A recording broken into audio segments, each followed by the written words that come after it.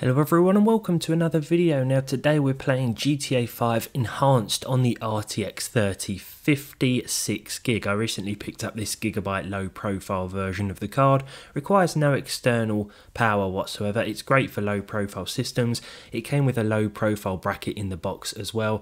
We'll be doing a full test soon but first I wanted to see how it handles the updated version of GTA. So you may have noticed the footage looked a bit stuttery there. That's because we've basically maxed everything out to start with. We're running on the highest settings with the highest ray tracing settings as well. We've started off at 1080p. The only thing I've turned off here as a matter of personal preference is the depth of field and motion blur options or at least we will turn those down. Oh no, I've done it already.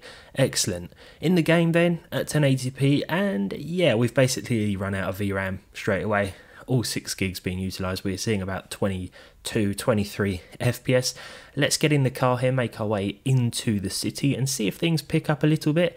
Alright, so we're getting around 25 now. Still not what I would really call playable, unless you're looking for a cinematic 24 FPS experience, of course, but uh, not really an ideal way to play uh, this version of the game. And of course, the original or legacy version is still available. So for those of you with older or weaker hardware, that may be a better bet. Oh, 30 FPS just then. In general, yeah, this is not playable uh, with the highest options on the 6 gig 3050, which I think was to be expected in all fairness. So what we'll do now is jump back into the graphical options. Uh, we'll enable DLSS performance mode. I'm running DLAA. Now we can use TAA, which is the, the, the default method.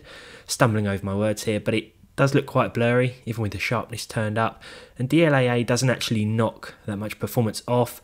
Uh, at native, just then it's like 1 or 2 FPS, so it still wasn't playable with TAA. When we enable DLSS performance, we're getting a nice boost to over 40 FPS.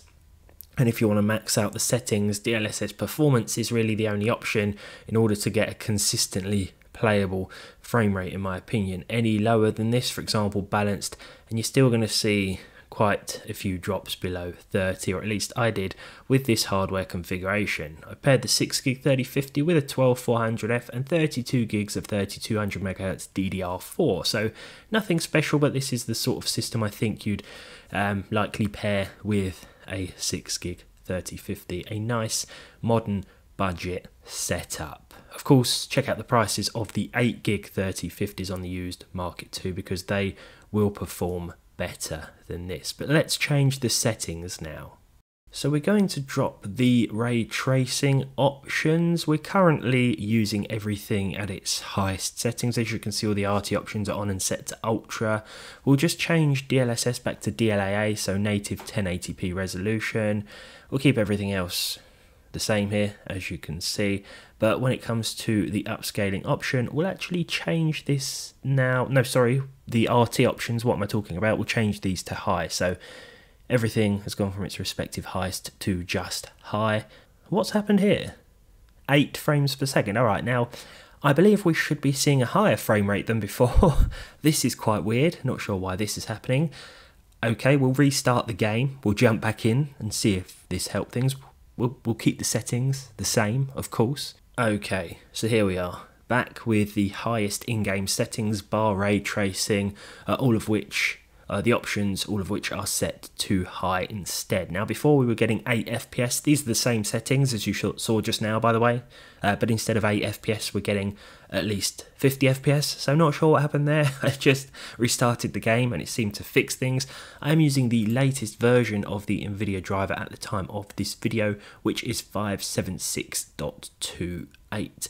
The 3056 gig I think is an okay modern card for the right price and it's certainly a decent option for those low profile systems. If you want to upgrade an old Dell desktop for example you can buy one of these, slot it in, you don't need external power and it's probably going to help turn an old office machine into something a lot more capable. You can see a few dips and drops below 40 frames per second here but I don't think this is a bad way to play if you're looking to almost maximize the visuals, but you still want at least 30 FPS. Of course, we will be targeting 60 FPS uh, in the next set of gameplay tests because I feel like that is definitely what more people would want. I'd certainly like to see 60 frames per second from this card, especially as we have a first person mode. So that's going to feel a lot better at a higher frame rate.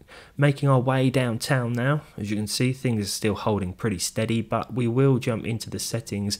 We'll enable um, performance DLSS mode like we did just now and see if we can hit at least 60 frames per second. We'll keep everything else the same. How's that impacting frame rate? Oh, okay, yeah, so we're getting at least 60 FPS with the highest settings, uh, the RT options set to high and then DLSS performance mode. At 1080p you can certainly notice that DLSS is enabled, that's for sure. A few little jagged edges and shimmering around certain objects here, which is to be expected, especially when enabling such an aggressive form of DLSS at this resolution. I'm going to crash any second now. I just know it. Cars wobbling all over the place. Let's try and get through the town without hitting anything else. Oh, lovely. Lovely job. Whoa, traffic's coming up. Don't want to crash into the cop cars. There we go. We are dipping towards the low 60s now, but oh dear, we're going to crash. Oh, no. I'm surprised. Oh, sorry. Did we avoid him? No, we just ran him over last minute. Sorry about that, sir. What I want to do now then is actually select the settings that I'd probably suggest. Now, it doesn't make much sense just trying to max out this game and uh, aiming for 60 FPS if we have to enable an aggressive form of DLSS. I don't think anyway we can do it and hit it as you saw just then, DLSS performance, but I prefer to play with the high RT preset. We're going to leave everything at default for now, including DLAA, so native 1080p. This is the high RT preset, so some of those ray tracing effects are on. Uh, RTGI or Ray Trace Global Illumination is not on. That's where you're going to notice quite a bit of graphical difference, but we'll enable that shortly. Without it though, with the high RT preset and at native resolution, the game looks pretty good and we're seeing 60 FPS at 1080p with the 3056 gig straight away with no other changes. This is a nice simple way to play, just jump in the game with a 3056 gig hit the high RT preset option, and away you go with plus 60 frames per second. No issues really to speak of here. You may notice a few dips and drops toward the low 60s, possibly below in certain areas, but for the most part, I think this is a nice combination of decent visuals, warp, and performance. Surprised we didn't hit anything there. How I got through that gap without smashing my car up, I do not know. So yeah, this is certainly one option uh, to use, one that's going to give you a decent combination of visuals and FPS. Oh, we've lost control now. What we're going to do then is actually switch RTGI or Ray Trace Global Illuminations on because as I said, this certainly makes the game uh, look better. In my opinion, this is one of those options where you enable it and you immediately notice the difference, but it does come at a cost of performance. Let's just uh, finish causing chaos in the streets here before pausing. Uh, right now we'll actually enable it, so we'll jump back into the graphical menu here. You can see we're pretty close to that VRAM limitation as it is. Ray Trace Global Illumination is being enabled now. With the high settings, we can go higher, but I'm not going to risk a lower frame rate here. This should still give us at least 60 FPS. Right, oh, we're still getting at least 70 FPS, a dip then below 60 with that explosion on screen, uh, but the game certainly looks better for it. So the high RT preset with RTGI on and set to high as well gives us a nice combination or a recommended uh, combination of performance and visuals in my opinion. These are certainly the settings I would use. I might be inclined to enable some form of upscaling as well, DLSS, and set to quality mode perhaps, but we will test that shortly. Right now, though, at native res, you're going to see plus 60 most of the time with high RT and RTGI set to high as well. This is certainly an option you're going to want in order to take advantage of the new and improved GTA 5 visuals here. Yeah, alright, let's just go down here. The frame rate's going to pick up, or at least I thought it would around this area because there's not much going on. If anything, though, it's actually dropped us a little bit. Might be the water and uh, foliage uh, in the background there. I do like the way this game looks. I think GTA 5, the original or legacy version, still holds up, to be honest. I am really looking forward to GTA 6. You might not see me for a while when it comes out because I'm just going to be glued to that PlayStation uh, for a very long time, I think. But let's turn DLSS on momentarily after we've just uh, blown this car up and see how performance changes. Alright, so I don't know what happened here, uh, everyone. I've uh, just uh, loaded outside the hospital. Well, you can imagine I ran along with a grenade in my hand and held it too long. I didn't realise. So we're going to remain with the same settings here, but this time we're going to switch DLSS on. I haven't used any overrides from within the NVIDIA control panel. This is the default version of DLSS that the game comes with. Set to quality mode. It's going to look pretty good, to be honest. Um, it will be noticeable in some areas that it is enabled, but I think for the increase in performance, it's well worth the trade off. And as you can see, we've gone from hovering around 65, 70 FPS, the exact averages will be up on screen as always, uh, to the low 80s, low 90s as well. And I think this is definitely worth enabling here as it's going to give you a higher frame rate at a small uh, resolution cost or a small cost to the overall crispness of the game. The 3056 gig certainly handling GTA 5 enhanced quite well at 1080p though, and uh, these are certainly my recommended settings. We'll just give it a bit of a blast through traffic here, try not to hit anyone as per usual. Right, yeah, so in a moment we'll switch to a high resolution, I think 1440p, probably won't test sorry, probably won't test 4K today. I don't think that's a sensible option for the 3056 gig. I did come in here to try and look for a nicer car, but it doesn't seem like we have many parked up here. Can we steal anything interesting? Oh, a golf caddy. Award for the most overly dramatic dive in the background there. Sorry, madam, didn't mean to do that. yeah, 1080p, I think with the high preset RTGI on and set to high as well, along with DLSS quality, is going to give you that perfect blend of uh, visuals and performance on the 6 gig 3050. In terms of the actual card itself, this low profile version, I do like it, but the fans are constantly spinning and I can hear them. It's not inaudible, as some people told me it would be. The fans are always on and spinning.